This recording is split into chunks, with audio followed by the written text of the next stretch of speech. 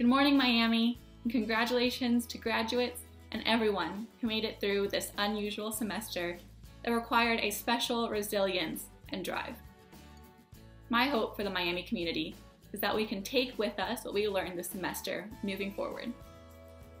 In my role as Global Programs Coordinator, I work with faculty who continue to develop study abroad and study away programs that are designed to encourage students to push their boundaries of thought, experience, and location.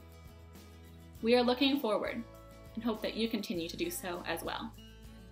What are your goals and how can studying abroad help you achieve them?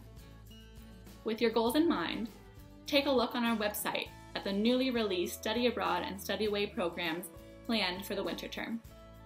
There are over 30 exciting programs that span 25 countries, including the US, and that offer unique courses in 28 different subjects. Applications are open, and there are scholarships available to support you in reaching your goals. If you are interested but not sure where to start, the Education Abroad advisors are here for you throughout the summer to answer questions and support you in making what many students say is the best decision of their life. It is evident that the world is interconnected and that the actions of some affect the lives of many.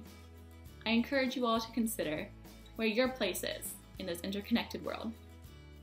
For those of you still searching, let the Education Abroad office support you to find your place.